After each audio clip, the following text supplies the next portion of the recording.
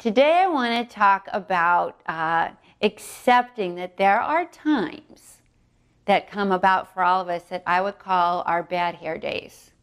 Those are the days when it's just not in place and the way you want to look and be and present and show up just isn't happening. Things are not cooperating. It's a bad hair day. And a bad hair day is a blessing if we can recognize that it's an invitation to accept our humanness. It's an invitation to remind us that maybe the judge we're so afraid of is inside, and others don't even see the bad hair. Maybe others are so self preoccupied with their own bad hair day that nobody's seeing anybody. But if you can acknowledge that if you're having this kind of experience, oh well, it's a human day. That's another way to say it. So it's just me being human day. And I'm going to self accept.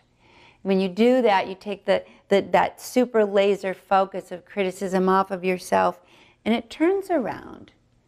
And the heart lens opens up where you begin to see, maybe with others, the same insecurities, anxieties, and maybe the antidote to the bad hair day is acceptance and compassion. And the response is, oh, well, I'm human. It's okay. All my love.